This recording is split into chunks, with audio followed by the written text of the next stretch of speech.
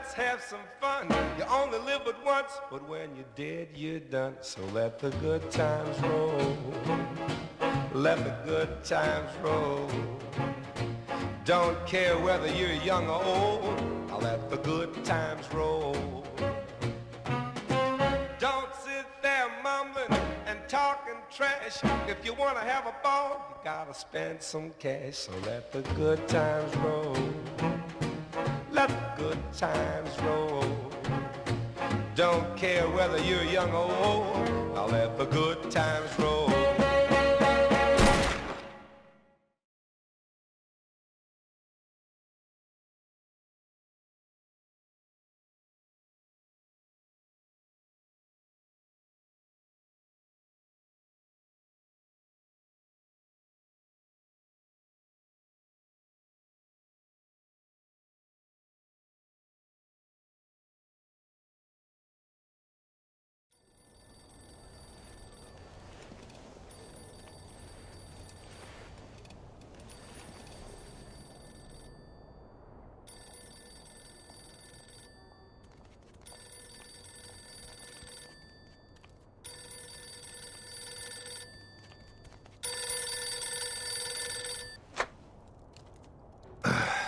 Hello. Hey, Vito, it's Eddie.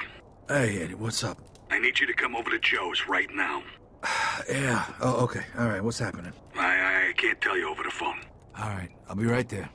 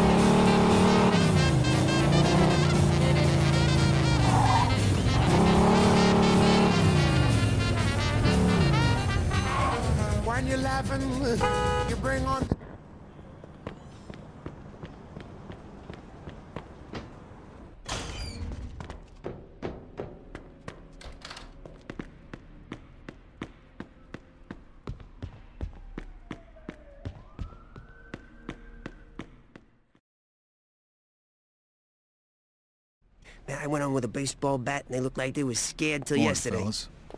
Oh, hey, good morning, Vito. Marty, what are you doing here? Joe said you needed help. And since I did good with the greases, he said he'd take me along again.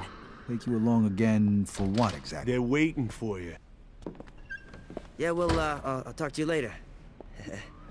yeah, that's my man Vito.